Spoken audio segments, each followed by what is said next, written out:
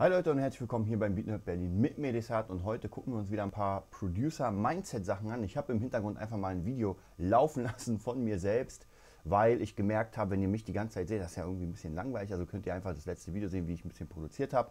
Lasst euch davon nicht ablenken, das läuft einfach nur. Ja, kommen wir heute zu einer Sache, die ganz wichtig ist und zwar, wenn ich Beat-Produzent bin, überhaupt Produzent bin, dann macht es natürlich Sinn, so ein bisschen zu gucken, so, wo kann ich denn meine Beats ähm, anbieten.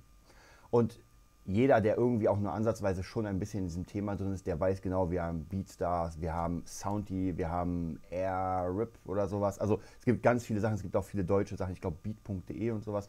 Also es gibt extrem viele Möglichkeiten, meine Beats anzubieten und zu sagen, ey Leute, hier habt ihr das. Problem ist aber, und das habe ich auch selbst gemerkt, es gibt halt unglaublich viele Beat-Produzenten, mehr als Fans wahrscheinlich. Also wirklich jeder macht Beats, das ist unglaublich. Und gerade auf Beatstars und so weiter klingt das Ganze natürlich schon sehr, sehr, sehr geil. Und ich habe mir damals auch die Frage gestellt, okay, machst du es jetzt so wie die anderen? Das heißt, du ballerst einfach ohne Ende Beats raus und äh, hoffst einfach, dass jemand was kauft. Ähm, oder du machst es anders.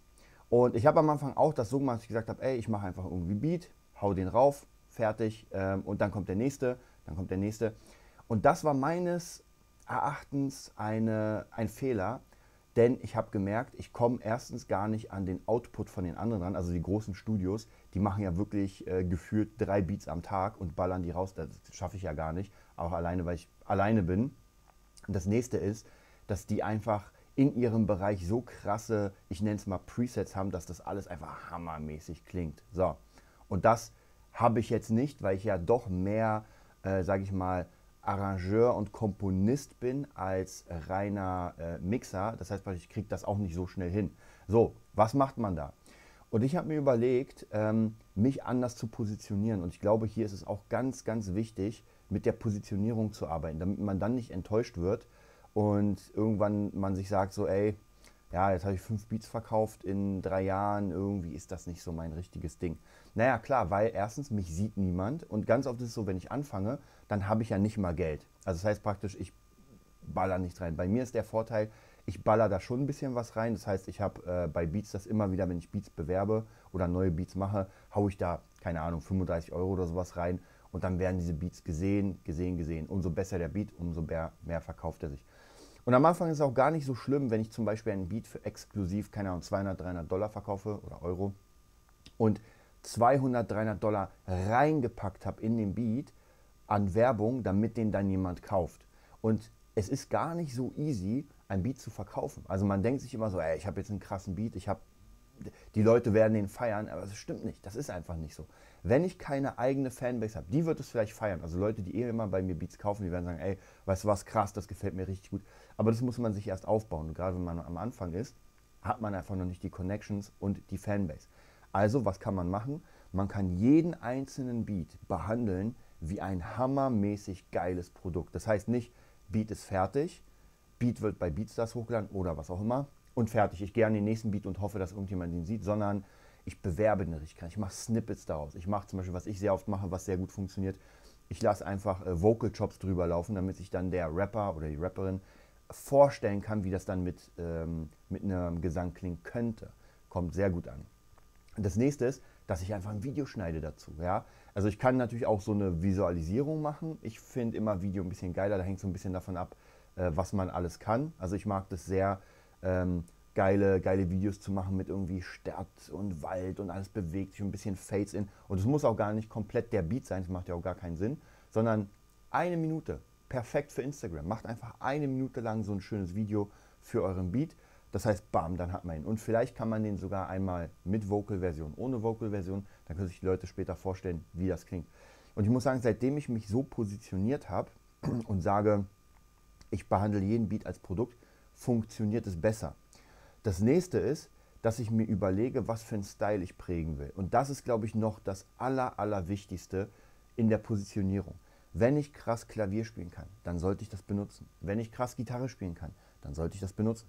Wenn ich krass mit äh, Samples slisen kann und das Ohr dafür habe, dann sollte ich es benutzen. Was ich nicht machen würde, also ich mache es auf keinen Fall, ist dieses, naja, ich versuche mal so viele Type Beats wie möglich zu machen ähm, um irgendwie zu hoffen, dass ich da reinkomme. Also weiß nicht, Drake Type Beats gibt es eine Milliarde und bevor ich mich da nach vorne positioniere, wenn ich überhaupt Drake Type Beats machen kann, ist es nochmal eine andere Sache, aber es bringt nichts, weil da sind einfach so unglaublich viele Leute, ich hebe mich damit einfach null ab.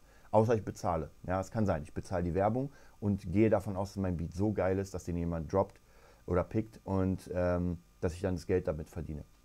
Muss man überlegen. Ich bin eher der Fan zu sagen, okay, ich mache einfach sehr, sehr spezielle Beats in meinem Style, wo ich es kann. Und das hat mittlerweile echt gut funktioniert, weil nicht jeder feiert die Beats. Ja, manche Leute schicke ich die Beats und sagen, ey, ist nicht geil. Aber ich habe ein paar Leute, die sagen, Alter, das ist genau das, was ich haben will. Und das ist für mich das Wichtigste, weil genau diese Leute will ich mir holen. Ich will nicht die ganze Welt, ich will genau die Leute, die sagen, ey, ich will genau diese Beats mit der Gitarre und in diesem Style.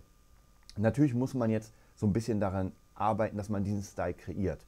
Ja, das bedeutet zum Beispiel in meinem Fall könnte es sein, dass ich nur Beats mache mit äh, Gitarre oder 90% mit Gitarre. Das heißt, man hat immer meine Gitarre drauf. Ja, immer Samples mit meiner Gitarre. Was ich auch machen könnte, ist, wenn ich sehr gut slicen kann mit ähm, mit Vocal Chops und so weiter arbeiten kannst, ich sage, okay, ich baue Beats, die so ein bisschen mehr in Richtung sind, äh, gechoppte Vocal Samples und so abgefahren. Und wenn man mich dann praktisch bucht oder ein Beat, dann bekommt man immer das. Ja, man bekommt immer das. Und guckt euch mal die großen Stars an. Äh, guckt euch mal Songs von Timbaland an. Ja, Timbaland ist ja mega bekannt für, sein, für seine Drum Loops, für sein Drumming, für bestimmte Drum-Techniken, wo man immer kennt aus der Szene, es muss ein Timbaland sein. Ja.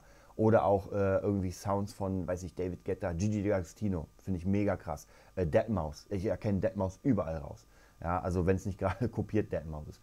Und so hat jeder seinen eigenen Style geprägt. Das heißt, eine Sache, die ich ähm, sehr, sehr versuche jetzt zu machen, ist wirklich einen Style bringen. Natürlich mit der Gitarre, weil ich Gitarrist bin. Deswegen, warum sollte ich das ablegen und sagen, nee, ich mache gar nichts mit Gitarre, wenn das einfach in jeder Branche auch eigentlich gebraucht wird. Also egal ob im EDM, da kann man Gitarren gebrauchen, äh, Trap, Hip-Hop, überall sind irgendwie Gitarren. Man muss halt so bauen, dass die nicht als Rock, Metal, Solo-Gitarre sind, sondern passend zum Song.